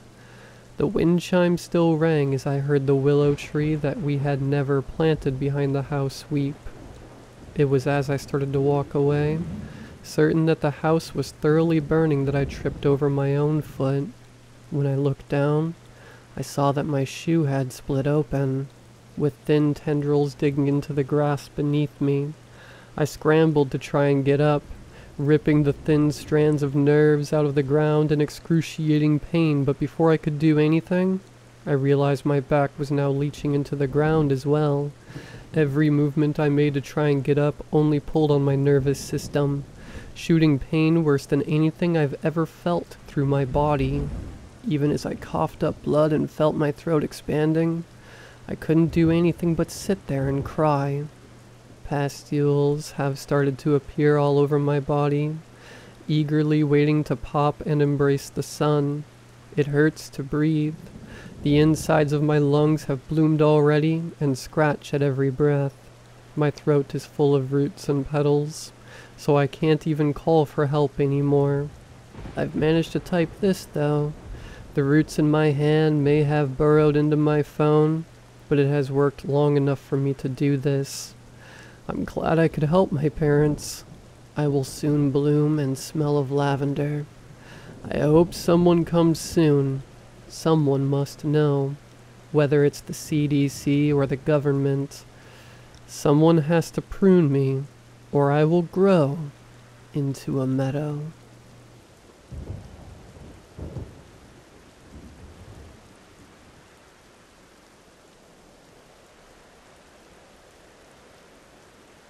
May 9th, 2024.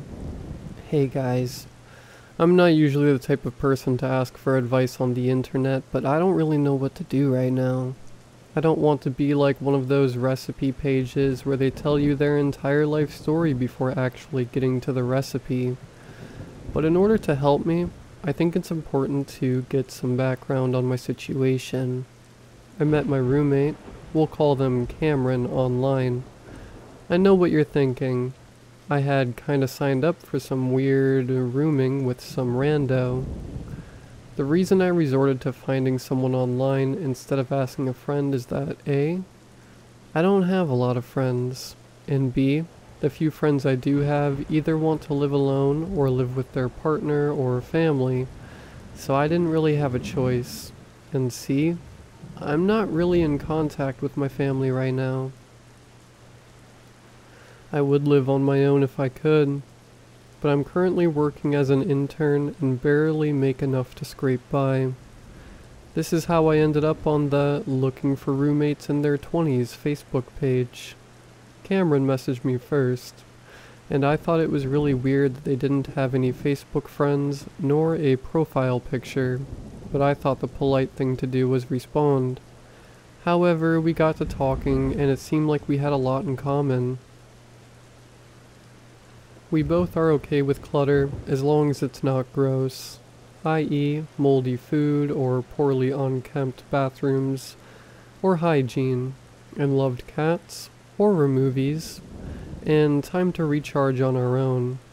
Cameron told me that they specifically made their Facebook page to find a roommate and isn't really interested in having a social media presence, which is why there is very little info on their page. I can respect that. Sometimes I wish I never got my first Facebook account at 13 and relished unrestricted internet access. Cameron said that they were just moving into the cities this year from a small farming town up north and was a little nervous about living in the cities for the first time. After talking more, we decided to meet up in person. We agreed to meet at a small diner halfway between their current home and mine which still ended up being a two hour drive. They had gotten there first, and when they stood up to greet me, I was stunned as they did not look how I expected them to. Cameron was tall, muscular, and incredibly attractive. Their pale blue eyes seemed to glow in the dark, and their teeth lined up as straight and uniform as a military cemetery. I found myself jealous, as my eyes were dark brown, and not the pretty dark brown like puppy dog eyes, like sewer water brown, and never got braces when I should have. After I got over my initial shock, I bustled my way over to try to cover up my reaction. We shook hands and sat across from one another in an old booth that seemed incredibly worn but still felt welcoming. We discussed our desired living situation, how many bathrooms? Did we need a dishwasher or in-unit laundry? Was AC necessary? Are we okay with pets? Rent budget and neighborhood we wanted to live in. Cameron appeared to be the perfect roommate, agreeing with everything I said I was looking for in an apartment. I readily accepted their offer to move in together. We found the perfect apartment and started moving in two months after we first started talking on Facebook. Neither of us had much, so we were able to move all our things ourselves without having to rent a moving van. Our layout looked something like this. Our bedrooms were linked with a Jack and Jill bathroom that had plenty of space for two people to keep their things and get ready at the same time. The front door opened up into the living room, with the closet containing the washer and dryer to the immediate right. The kitchen was to the left, and there was a small island between the kitchen and living room. I already had two cats, Seymour and Audrey, that Cameron was very happy to live with. At first glance, it seemed like we were going to be great roommates. Okay, sorry for rambling. I just want to show that everything was normal at first. Our lives intertwined seamlessly. I left for work before they got up, and they got home when I was starting to get ready for bed. We would occasionally eat dinner together on the weekends and play video games and watch movies and stuff, and sometimes go out for a beer. That is how it was for the first five months or so, until I noticed the hole in my bedroom wall. I saw it after I started to hang things up on that wall and noticed a small chip in the paint. I inspected it, as I did not notice it when we were filling out the form with all the damages from before we moved in, so they wouldn't be counted when we got our security deposit back. As I looked at it more closely, I saw something that reflected off my lamp for just a second. I got my phone to use as a flashlight and spotted a small, round, black object that was no bigger than a peppercorn. The hole was too small to reach in with my fingers, so I started searching for things small enough to grab whatever it was. I tried everything I could think of tweezers, toothpicks, tape, pliers, cotton swabs, you name it. Eventually, I gave up and just went to bed. I couldn't sleep that night. All I could do was stare at the ceiling and think about what it could be. After a few hours of tossing and turning, I decided that if I couldn't get it out, I have to make the hole bigger. I wasn't too worried about the security deposit, since the hole was already made. What difference does it make if it's just a little bit bigger? I didn't have any tools, so I dug around until I found a small pocket knife that my grandpa got me as a souvenir from Alaska. It said, in all caps, I love my grandpa.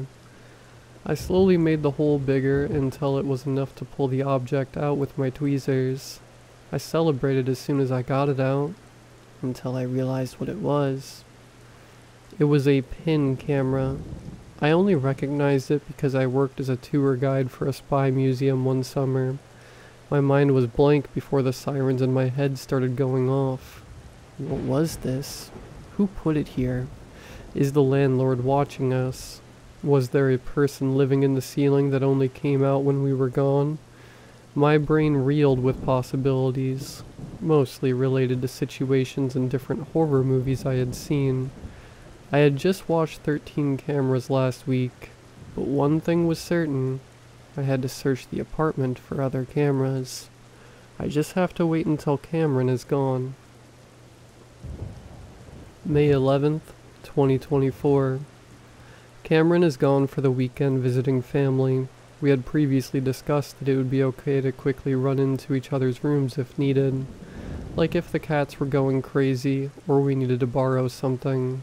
I hadn't had a reason to go into their room yet, but I had to see if there was a camera in their room too. I didn't want to freak them out without evidence. I opened their door and was a little surprised at the lack of furniture. Cameron had a twin-size mattress on the floor without a bed frame, a small desk, and a wooden cutting board that they must have been using as a bedside table. There was nothing on any of the walls, no lamps, and no TV or computer that I could see. It was the polar opposite of my room. It looked like it was straight out of Howl's Moving Castle. I was relieved that I didn't have to move a ton of furniture or take things off the wall, though. I started on the wall next to the bathroom where mine was, and when I didn't find it, I started searching up and down every wall. Nothing. As soon as I started to walk out, I realized I hadn't looked in the closet yet. I went over and pulled open the sliding door and froze. The clothes in their closet were almost the same as mine. I closed the door and left. I was a little weirded out, but we had a similar job and we never saw each other wearing anything other than pajamas or sweatpants, so I chalked it up to a coincidence. Anyways, I left their room and softly closed the door. I leaned against it and took a deep breath, half relieved and half terrified. It was good that Cameron wasn't being targeted, but that meant that someone was watching me specifically. May 21st, 2024. After our last conversation, I'm pretty sure it's Cameron. The next Saturday that we were both home, I decided to bring it up. I brought them into my room and showed them the hole and the camera. They said, What is that? That's messed up. But his face showed little emotion. I suspected they were just in shock, as I was when I found it. Then I told them I had gone into their room. They became rigid and slowly turned their whole body at me, as if they were one solid being without joints or limbs. They stared at me and I felt their eyes in my soul as they blazed with an emotion I can't name. Fear, hatred, confusion. I wasn't sure. You went in my room? They asked coldly. I guess it was more of a statement than a question, but I answered them anyways. Yeah, I wanted to make sure that there were no cameras in your room so you didn't freak out and tear apart your room trying to find one. I didn't find any though. I guess they're only interested in me. I laughed, trying to avoid the fear that was striking its way through my veins. You went in my room? Uh, yeah. I was confused. This was something clearly stated in our roommate agreement that we could go into each other's rooms if necessary. Did you see anything weird in there? I just told you I didn't see any cameras. Don't worry, your room seemed normal. Okay. Silence filled the space between us. I stood under Cameron's gaze, feeling as though I were being dissected. Then Cameron flashed their 100 watt smile. Good, they said. I can help you search your room and the rest of the place for other cameras. We searched our apartment top to bottom. Nothing. While I was still on edge, I felt better knowing it was the only one. Maybe it was left over from a previous resident freak. I decided to plug the camera into my computer to see if there was any footage on it. Thankfully, it seemed like it was really outdated and had no data on it. I threw the camera away, but decided it would be a good idea to put a small camera in my room to see if anyone strange came in or out. I didn't think to tell Cameron about it since it was my room, and it was a good thing I didn't. June 13th, 2024. After a few weeks of recording, I decided to review the footage. It was mostly normal stuff. Me on my computer, sleeping, cleaning, etc. That is until the second week. The door to my room creaked open slowly and a large figure began to walk through the darkness. My breath refused to come out of my lungs as my heart pulsated. When the light turned on, I felt like I was having a heart attack. It was Cameron. They started by doing a quick scan of the room before opening my closet. They didn't do anything, just stared at it as if he was taking pictures with his mind. They did this all around my room, spending the most time looking at the pictures of me and my friends and family on my desk. After a few minutes, they turned off the light and quietly left my room. After that, I really didn't know what to do or how to interact with them. I tried to keep it cool, but I could tell that I was acting weird. They didn't say anything about it and went on as usual. I decided to do some background research on them, something I should have done in the first place. I started easy by googling their name. I knew they didn't have a social media presence, but I still expected something to come up. A LinkedIn profile, a news article, a mention in a dean's list or something. but absolutely nothing came up. I thought maybe I didn't spell their name right, so I decided to look at their ID when they were in the shower. I quietly went to the basket in the entryway where we keep our wallets and keys and slid the ID out of its pocket and froze. Cameron's name was not the one printed on the ID. The picture was definitely them. The blonde hair and wide smile, but the eye color description said BRO, not BLU. I looked closely at the picture and realized that instead of their piercing blue eyes, it looked like the person in the picture had brown eyes. I quickly took a picture of their ID and put everything back as I found it and escaped to my room. I decided to Google the name on the ID. Sure enough, a fair amount of information popped up. Whoever this person is seems to be a carefree and easygoing person with lots of pictures of them with friends and family. I sighed in relief when I clicked on the Facebook profile as it was public. I started from the bottom and scrolled through their posts. Most of it was the normal stuff. Happy birthday wishes, memories from years prior, pictures of them at events and stuff. I couldn't help but notice their eyes. Again, they were not that piercing blue that I have come to know. They were brown, like a puppy staring at you with unconditional admiration. I didn't think that Cameron wore contacts, and I never saw any in our bathroom. The final post was dated two years ago. It said, Can't wait to move into my new apartment. My new roommate Cameron is the best. Posted with the update was a picture of the person with the brown eyes, and another person that I did not recognize at first, until I noticed their piercing blue eyes.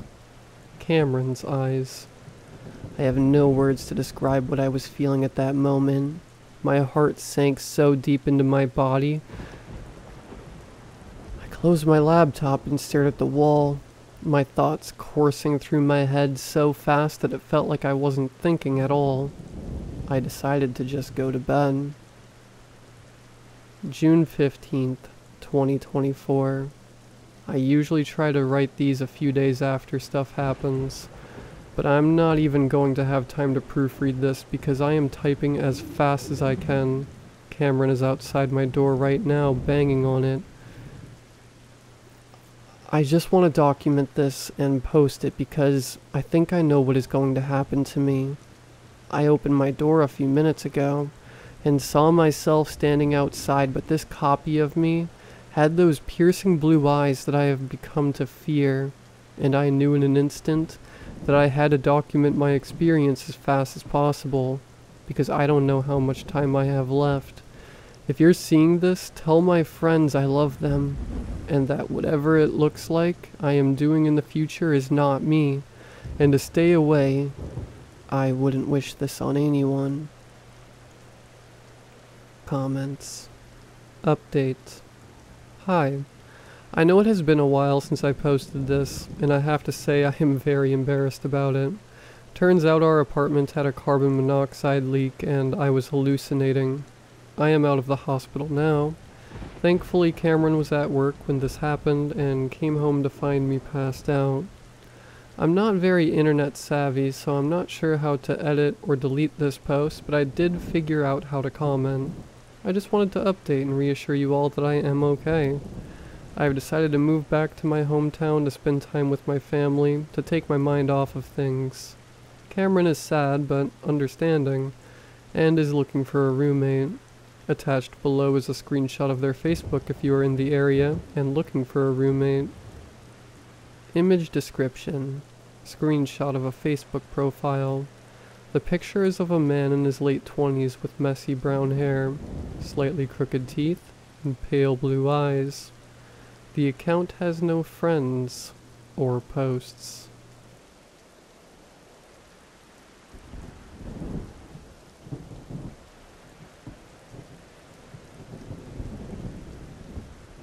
I found a job listing online. It was vague but intriguing. Assistant needed, $1,000 a week. No experience necessary. I was desperate for money and the pay was too good to pass up. I applied and got a response almost immediately. Thank you for your interest. Please come to the following address for an interview at 8 p.m. tonight. 8 p.m. was an unusual time for an interview, but I didn't question it. I arrived at the address, a nondescript office building in a deserted part of town. The lobby was empty, and I took the elevator to the fourth floor as instructed. A woman in a dark suit greeted me as I stepped out. She introduced herself as Miss Allen and led me to a dimly lit office. She asked me a few basic questions, then handed me a contract. Welcome aboard. Your first task begins now. I barely had time to process her words before she handed me a black envelope. Take this to 1423 Willow Street.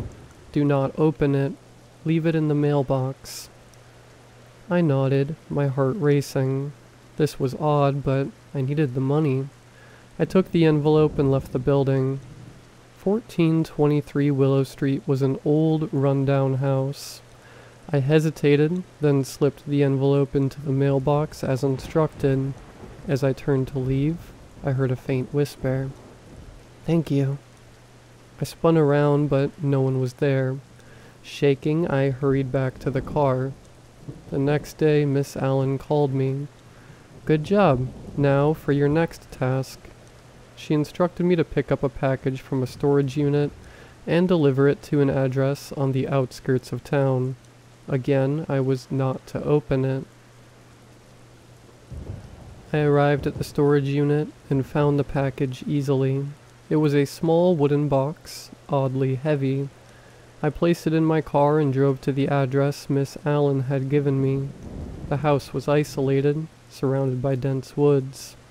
I left the package on the porch and was about to leave when the door creaked open. An elderly man peered out his eyes cloudy and unfocused. Did you bring it? He rasped. I nodded and hurried back to my car, unnerved by the encounter. Over the next few weeks, the tasks became stranger. I delivered more packages, picked up mysterious items, and even stayed overnight in abandoned buildings. Each time, the instructions were clear. Follow the rules exactly. Do not ask questions. One night, Miss Allen called with a new task. Go to the old cemetery on Elm Street. There's a mausoleum in the center. Enter it and place this candle on the altar inside. Light it, then leave immediately. I arrived at the cemetery just before midnight. The air was thick with fog, and the only sound was the crunch of gravel under my feet. I found the mausoleum and pushed open the heavy iron door. Inside, the air was cold and stale. I placed the candle on the altar, lit it, and turned to leave. As I reached the door, I heard a low moan. I froze, then bolted out of the mausoleum, and didn't stop running until I reached my car. That night, I couldn't sleep. The moan echoed in my mind. The next morning, I found a new envelope under my door. Final task return to the mausoleum and retrieve the candle. I didn't want to go back, but I needed the money. I arrived at the cemetery just as the sun was setting. The fog was even thicker than before. I forced myself to enter the mausoleum and found the candle still burning on the altar. I picked it up and a chill ran down my spine. As I turned to leave, the door slammed shut. I was plunged into darkness. My phone buzzed in my pocket. Welcome to your new home. Panic set in. I pounded on the door, but it wouldn't budge. My phone buzzed again. You shouldn't have taken the job. Watch out. I stared at the message, my breath coming in short, panicked gasps. The air in the mausoleum felt heavy, pressing down on me. I tried to call Miss Allen, but the call wouldn't go through. My phone buzzed again. There's no way out. Desperation set in. I felt along the walls, searching for any kind of escape. The stone was cold and unyielding. I banged on the door, screaming for help, but my voice echoed back at me, the sound swallowed by the darkness. Suddenly, a soft light appeared in the corner of the room. I turned to see the candle I had picked up, now floating in midair. It began to move, tracing a path along the floor. I followed it, the flickering light my only guide. The candle led me to a small hidden door at the back of the mausoleum. I pushed against it, and to my surprise, it opened with ease. I stepped through into a narrow, dimly lit tunnel. The candle floated ahead, illuminating the way. I followed the tunnel, my heart pounding. It seemed to stretch on forever, the air growing colder with each step. I could hear whispers, faint and indistinct, coming from the walls. They seemed to be urging me forward, but their tone was menacing. Finally, the tunnel opened up into a small chamber. In the center was a stone altar, and on it lay a book bound in worn, cracked leather. The candle floated above the book, casting eerie shadows on the walls. I approached the altar and saw that the book was open. Its pages were filled with strange symbols and cryptic writing. My phone buzzed again. Read aloud. I hesitated. Everything in me screamed to turn back, to escape this nightmare, but I felt a strange compulsion to obey. I took a deep breath and began to read the words on the page. As I spoke, the air around me seemed to vibrate. The whispers grew louder, more urgent. The symbols on the page began to glow, and I felt a cold swirl around me. The candle's flame flared up, casting a blinding light. When I finished reading, the light disappeared, plunging the chamber into darkness. I felt a presence behind me, something cold and malevolent. I turned slowly, my heart in my throat. Standing there was a figure cloaked in shadows its eyes glowing a sickly green. It reached out a hand towards me, and I felt an icy grip around my heart. My phone buzzed one last time. You have freed me. Now you belong to me. I tried to scream, but no sound came out. The figure stepped closer, its grip tightening. I felt my strength drain away, my vision darkening. Just as I was about to black out, the grip loosened.